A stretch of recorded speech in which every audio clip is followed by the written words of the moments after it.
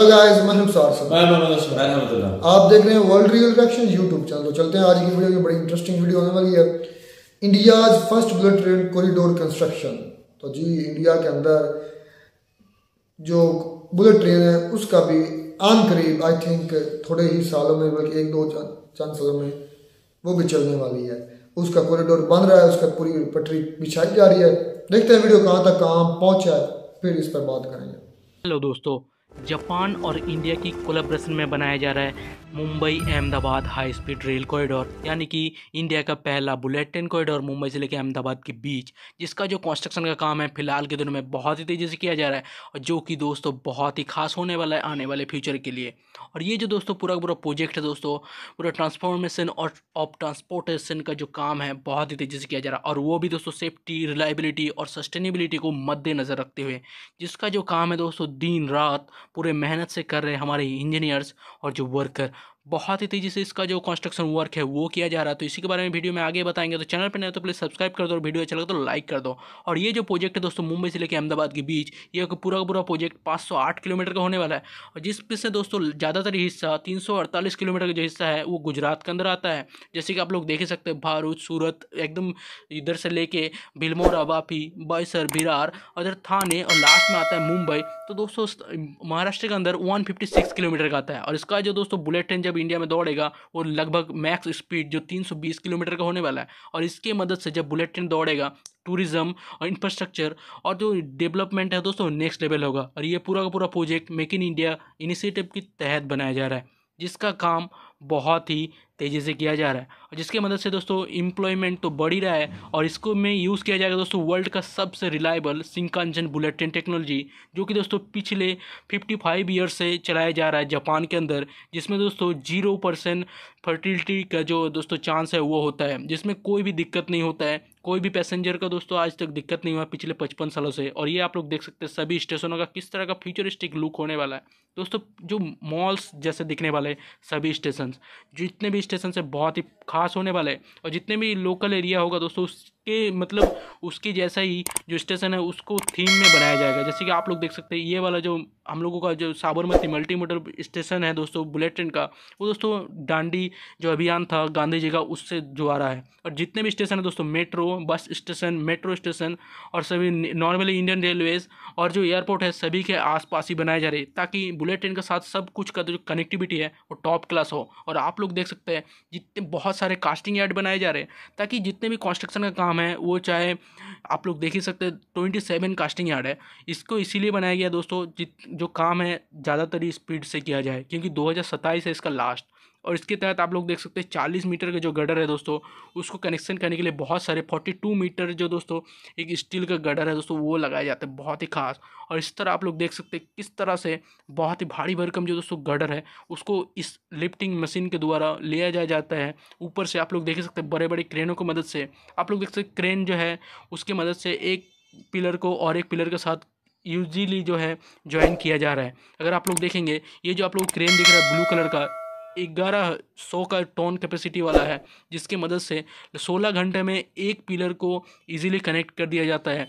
और एक पिलर को कनेक्ट करने का जो दोस्तों ये है पद्धति है, उसको कहा जाता है दोस्तों गडर लॉन्चिंग।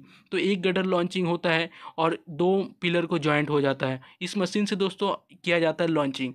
तो कुछ भी हो, ये जो आप लोग मशीन दिख रहा है गडर लॉन्चिंग का, ये टोटल आठ मशीन है अभी तक इंडिया में। आठ मशीन से दोस्तों चार मशीन इम्पोर्टेड है जापान से और चार मशीन जो है इंडिया में बनाया गया है, मेक इन इंडिया के इनिशिएटिव की तरह। तो कुछ इसी तरह से दोस्तों चौबीस घंटे काम किया जाता है। जो वर्कर का है शिफ्ट वाइज काम हो जाता है। इसी तरह कुछ आप लोग देख सकते हैं, भापी का स्टेशन सूरत का स्टेशन बिलमोरा का स्टेशन अहमदाबाद का स्टेशन पार रिवर के ऊपर आप लोग कंस्ट्रक्शन का काम देख सकते हैं। जो पार रिवर के ऊपर जो दोस्तों ब्रिज के कनेक्शन का काम था, वो हो चुका है। अंबिका रिवर के ऊपर वो भी हो चुका है। अरुणा का जो रिवर है, उस पर भी और पटलान जो कैनल है दोस्तों, उसके ऊपर भी जितना भी दोस्तों काम था, वो हो चुका है। लेकिन जो मेन मेन बड़े बड़े नदी है दोस्तों, जैसे कि Narmada river Tapi river Mahi river इन सभी के ऊपर सर बहुत ही अभी कंस्ट्रक्शन का जो काम है, वो अभी किया जा रहा है। क्योंकि दोस्तों, ये जो नदी है, बहुत ही बड़ा है। और कुछ भी दोस्तों, जितने भी बड़े बड़े जो रेलवे क्रॉसिंग है, ये रोड है, उनमें दोस्तों कोई भी दिक्कत नहीं होता है। क्योंकि जब भी जो कंस्ट्रक्शन का काम होता है पिलर कनेक्शन का काम होता है, कोई भी प्रॉब्लम नहीं होता है। जितने भी दोस्तों ट्रांसपोर्टिंग सिस्टम उसको कोई भी प्रॉब्लम नहीं होता है। और इसी के तहत, जो फ़र्स्ट टनल है दोस्तों जो जो कि मैंने इसका पहले वीडियो में अपडेट दिया था, जरोली टनल उसका जो ब्रेक थ्रू है, वो हो चुका है। और पहला जो स्टील ब्रिज है, सत्तर मीटर का, जो कि सूरत के अंदर है, वो भी पहला लगा दिया गया जैसे कि फ़र्स्ट टनल का काम और फ़र्स्ट स्टील ब्रिज का काम, ये फ़र्स्ट जो है, वो हो चुका है। इसके आगे दोस्तों इसके आगे और ट्वेंटी सेवन जो जितना भी है दोस्तों स्टील का ब्रिज वो लगाए जाएँगे। और जो ट्रैक का है ट्रैक का बेड मतलब जो मेन कंस्ट्रक्शन है ट्रैक का, वो दोस्तों स्टार्ट हो चुका है। और आप लोग देख सकते हैं, जो ट्रैक का मेन अलाइनमेंट है, उसको जो काम है दोस्तों कॉन्क्रीटिंग करने का काम, वो स्टार्ट हो चुका है। और इसमें यूज़ किया जाएगा दोस्तों वर्ल्ड के सबसे तेज सिंकांजन टेक्नोलॉजी का जो ट्रैक होता है वो। और साइड में आप लोग देख सकते हैं नॉइज़ बैरियर है। ये आप लोग बैरिकेड आप लोग देख रहे हैं। इसके द्वारा, क्योंकि दोस्तों जो बुलेट है ना, बहुत ही तेज़ी से चलता है तो इसके द्वारा जो है बहुत ज़्यादा साउंड होता है। इसीलिए दोस्तों जो साउंड में बैरिकेड भी लगाया गया है, इससे कोई नॉइज़ नहीं होगा। और इसके अगर आप लोग आप लोग देखेंगे एम एच आसर जो प्रोजेक्ट है दोस्तों, उसमें यहाँ से अगर आप लोग देखेंगे, अगर वीडियो में अच्छी तरीके से, जितने भी दोस्तों आप लोगों को ग्रीन कलर का अलाइनमेंट दिख रहा है ना, वो है दोस्तों पिलर और जो, जहाँ पर डबल डबल दिख रहा है, वो है स्टेशन जहाँ पर एक है, वो पिलर वर्क है। एलिवेटेड पार्ट है एक्चुअली जितना भी बुलेट ट्रेन का ये है ना, पूरा कॉरिडोर ये ज़्यादातर एलिवेटेड पार्ट में है। मिट्टी के ऊपर बहुत ही कम है, बहुत ही कम। कुछ भी उधर आप लोग देख सकते हैं, जिस जगह में गैप हुआ है, आप, अगर आप लोग देख रहे हैं मैं मार्क भी कर दे रहा हूँ, जिस जगह में गैप हुआ पड़ा है, उधर में कोई अभी पिलर वर्क नहीं चल रहा है। और जहाँ पर डबल डबल है वहाँ पर स्टेशन होने वाला है। तो कि कहाँ पर कितना काम हुआ है, अगर आप लोग इस वाले मैप को अगर देखेंगे, इसको अगर समझने की कोशिश करेंगे तो शायद आप लोग को समझ में आ जाए कुछ इसी तरह से बहुत जगह में स्टेशनों का काम चल रहा है। हालाँकि बहुत नहीं, पूरी जगह, पूरे प्रोजेक्ट में ही पाँच साठ किलोमीटर के जो प्रोजेक्ट है, पूरा का पूरा, सेक्शन मुंबई, अहमदाबाद के बीच जो कि मात्र बुलेट ट्रेन जब चलेगा, दो घंटे में आप लोग पूरा जो यात्रा है, आप लोग कंप्लीट कर सकते हैं, जो कि शायद जितना मुझे पता है एरोप्लेन से भी तेज होने वाला है। क्योंकि आप लोग पहले एरोप्लेन में पकड़ने के लिए दोस्तों, पहले तो एयरपोर्ट जाना पड़ता है एक घंटा पहले से तो एक घंटा में जाओगे, फिर दो घंटे तो तीन घंटे, चार घंटे तो लगता ही है।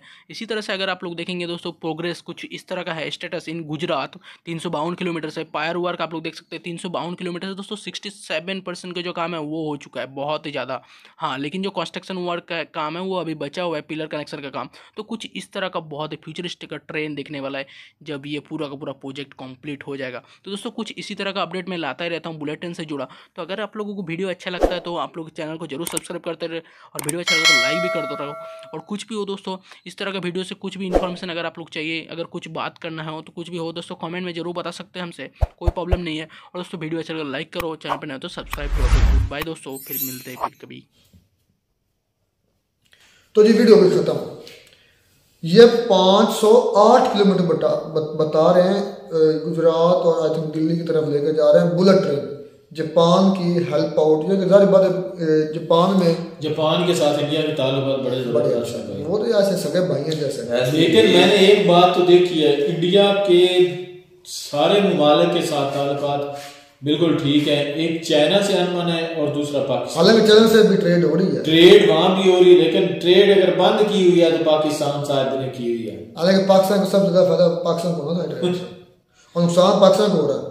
यार मुझे समझ नहीं आती। अकल के अंधे ना ये अकल के अंधे हैं या इनको क्या समझ अच्छा खैर इंडिया का वंदे भारत ट्रेन सिस्टम जो वंदे भारत वो चल रही है ट्रेनें उनकी तमाम शहर में अब तो हर शहर में हो रही है।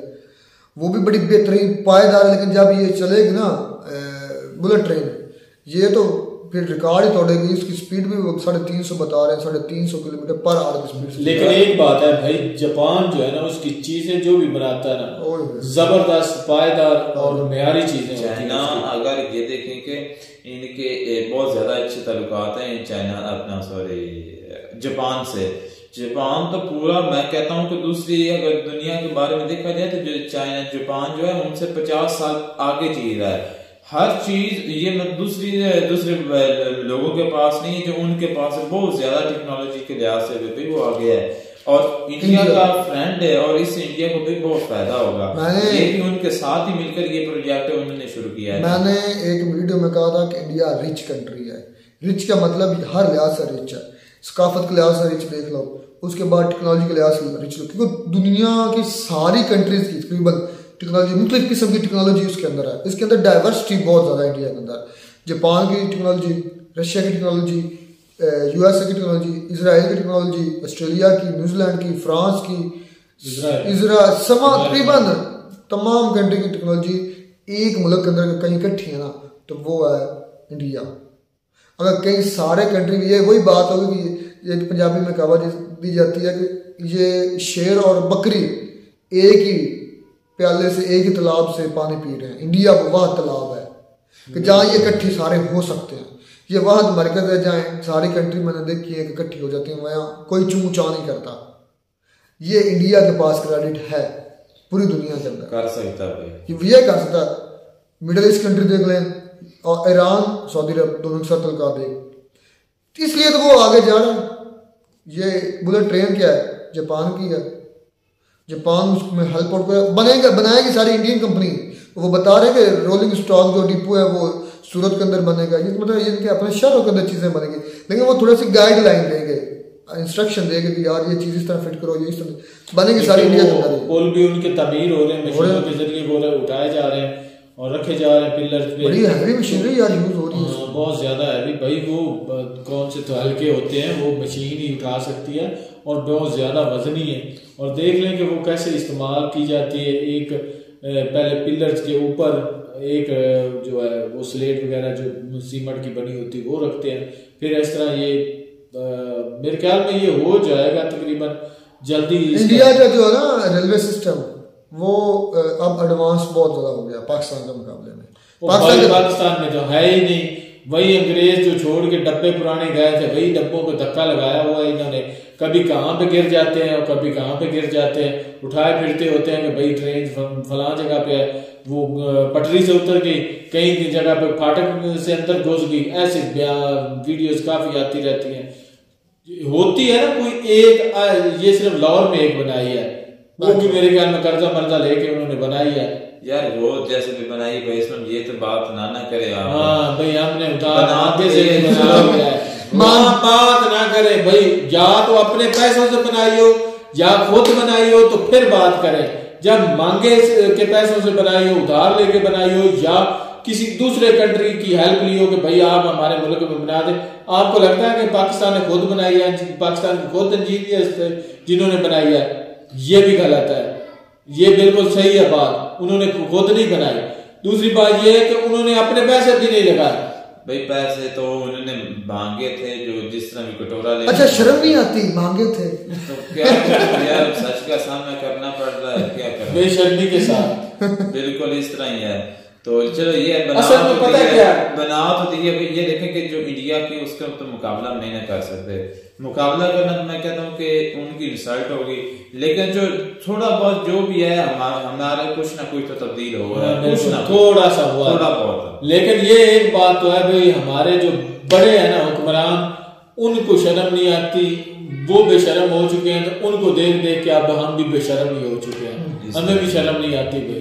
खैर बेस्ट ऑफ़ लक यार इंडिया ने आपकी ये भी ट्रेन जल्दी बुलेट ट्रेन भी कामयाब आप कामयाबी की मंजिल तय कर रही है तो इससे बड़ा फ़ायदा होने जा रहा है इंडिया को इसमें इंफ्रास्ट्रक्चर होगा इंडिया में तो भाई कोई ना कोई नई डेवलपमेंट कभी कोई ट्रेन कभी कोई ट्रेन मिलते नई वीडियो में नाटक साहब तब तक भी इजाज़त अल्लाह हाफिज।